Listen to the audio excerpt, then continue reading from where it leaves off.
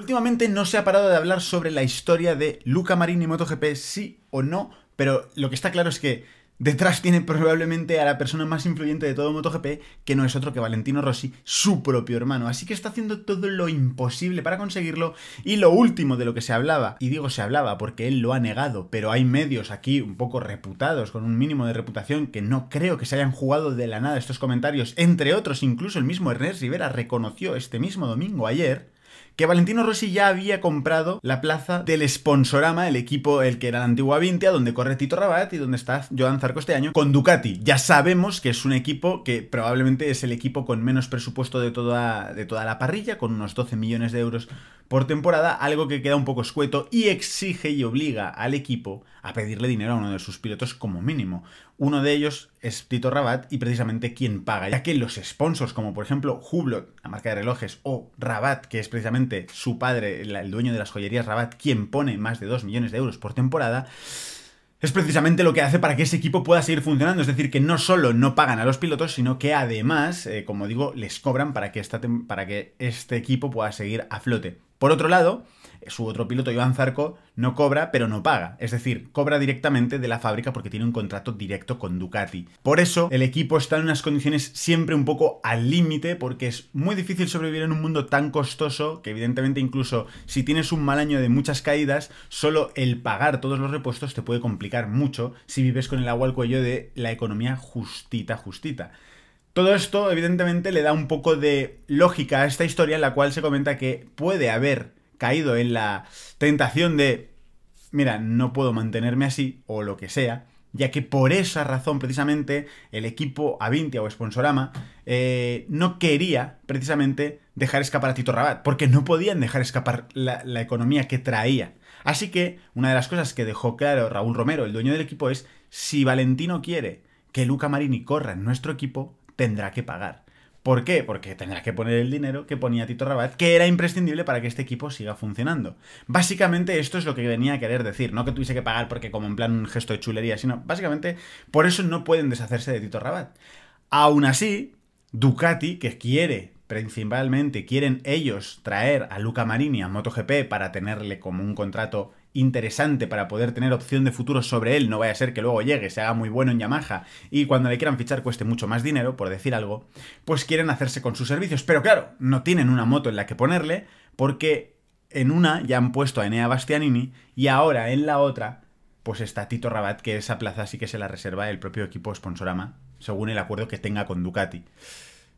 Además, como digo, no pueden dejarle escapar a Tito porque se les escapa el dinero, pero Ducati, muy inteligentemente, pues coge y le ofrece una moto en el Mundial de Superbikes a Tito Rabat para ver si está interesado en, bueno, pues en un cambio de aires que dejaría esa moto libre para poder traer a Luca Marini como ellos querían. Sería con un contrato oficial de fábrica, es decir, sería Ducati el que se encargaría de su sueldo, pero lo que viene a querer decir el sponsor es esto no es suficiente, necesitamos el dinero que traía Tito, así que alguien lo tiene que poner.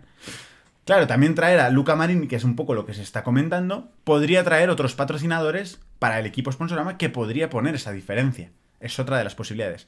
Pero lo que se hablaba hasta el sábado era que Valentino Rossi ya había dicho oficialmente en sus círculos cercanos que el año que viene su equipo, el Sky Racing Team VR46, no estaría en Moto 3. O sea, imaginaros con qué certeza, por eso rotunda total, eh, aseveró tanto Ernest Rivera como Cataluña Radio, como un montón de prensa más que he leído por ahí, diciendo el año que viene, Valentino Rossi tendrá su propia plaza en MotoGP. Comprará la plaza que falta para que pueda subir su hermano Luca Marini el año que viene a MotoGP, ya que quiere que suba sí o sí a toda costa. Y sabe que si no, el problema, como os he dicho, es que lo más probable es que se le dificulte otro año más incluso si no sube. Y si se hace campeón esta temporada, ya no tendrá sentido quedarse otro año más. Además, ha demostrado saber lo necesario y lo suficiente como para poder subir a MotoGP, además de no hacer falta que diga que un tío como Luca Marini, que mide 1,85m, es muy alto para una Moto 2 que es bastante, bastante recortada, aunque no lo parezca, y pequeñita. Así que ya es el momento de que todas esas cosas dejen de lastrarle y que suba. Pero ¿qué pasa cuando todo esto se confirma, se hace público a nivel oficial, se dice, ha comprado la plaza, o sea, no se duda, o pues podría estar interesado, no, no, literalmente se dijo, ha comprado, ojo, no lo digo yo, lo dice la prensa. Así que que nadie se me eche encima, los tontos lo harán igualmente, pero que nadie se me eche encima porque esto no lo estoy diciendo yo, simplemente estoy contando esto, que además he dejado que pase el tiempo para ver si se confirmaba o no. Lo que se sabe es lo mismo hasta el momento y es que, como digo, la prensa dice Valentino Rossi ha comprado la plaza del Sponsorama para estar el año que viene en MotoGP, el año que viene el equipo, el equipo Sky Racing Team VR46 no estará en Moto3 porque pretende ahorrar todo ese dinero que le supone estar en esa categoría y con toda la ayuda de los patrocinadores y un poco más de ingreso, esperan estar en MotoGP para poder darle esa moto a Luca Marini. Además de que eso sí, no se ha cortado en nada en decir que está haciendo lo imposible para que su hermano Luca Marini el año que viene esté en MotoGP sí o sí. Pero solo hay dos posibilidades. Una es comprar ese equipo, comprar esa plaza del equipo y venir con su propio equipo, o bien conseguir que acabe rodando en ese equipo pero para ello eso sí tendrían que quitar a Tito Rabat. Si compra la plaza del equipo, por si alguien lo estaba dudando, evidentemente el contrato de Tito Rabat se disuelve completamente y se queda sin contrato, así que, en cualquier caso, para que suba Luca Marini, Tito Rabat se tiene que quedar sin moto. Estoy convencido de que detrás de todo esto lo que está sucediendo es que el acuerdo ya está, ya está cerrado con Ducati, pero están buscando la mejor forma de hacerlo. Por eso han intentado empezar a pensar la posibilidad de eh, bueno, pues quitamos a Tito Rabate aquí, a ver si le convencemos para ir a Superbikes. Ah, que no quiere, porque por lo visto no lo ha tenido muy claro y no ha dado una respuesta, pero no está por la labor de irse a Superbikes.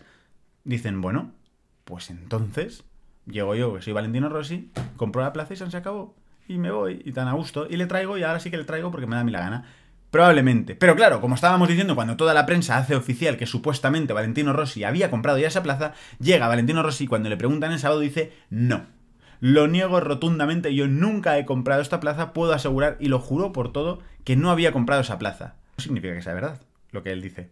¿A qué suena todo esto en mi cabeza? A que todos esos comentarios que sí son reales, que sí que hay algo, hay algo, no que haya sucedido ya, pero que está la intención o lo que sea, probablemente, probablemente estén entorpeciendo las vías de resolución más sencillas, que es que el equipo Sponsorama siga ahí y por supuesto que llegue Valentino con un patrocinador para que compense el dinero que ponía Tito y con ello que suban a Luca Marini y a ver si al final convencen a Tito para irse a Superbikes, por ejemplo. Así que la situación es la siguiente. No se sabe la realidad, pero Valentino niega haber comprado esa plaza y sigue diciendo que lo que él quiere es poner a su hermano Luca Marini en la moto de Tito Rabat, es decir, en el equipo Sponsorama. No quiere que sea su equipo. Eso es la información que hay hasta el momento. Evidentemente, una de las cosas que le está pidiendo es hazte campeón del mundo de Moto 2 como sea, por favor, pero evidentemente esto se solucionará incluso antes de que eso suceda, probablemente. Así que no tiene por qué pasar sí o sí, pero lo está intentando. Lo que está claro es que está haciendo lo imposible y cuando alguien con la influencia de Valentino Rossi y con su dinero y sus posibilidades a nivel eh, anunciantes, eh, publicidad, etcétera, pues presiona tan fuerte, es muy probable que lo consiga. ¿Para qué nos vamos a engañar, no?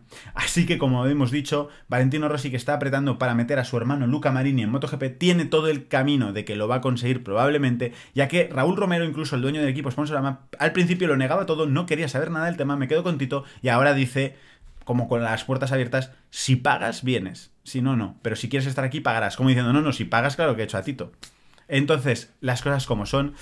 Probablemente lo conseguirán porque además Ducati también está detrás de todo esto. Quiere que su nuevo pupilo, que es evidentemente Luca Marini, suba a MotoGP y como sea, quiere que lo hagan con ellos. Hasta ahora no hay más información del tema, como digo, Valentino lo ha negado, el resto de prensa lo ha hecho oficial totalmente, incluso Ernest Rivera, como hemos dicho ya en Dazón el otro día en la retransmisión de la carrera, diciendo no van a estar en Moto 3, para que te hagas una idea de cómo de avanzado está en serio y la oficialización de que van a estar en MotoGP, pase lo que pase, lo que pasa es que a lo mejor otra de las posibilidades es que se quitan de estar en el Mundial de Moto 3 para que ese dinero sirva precisamente para pagar al Sponsorama.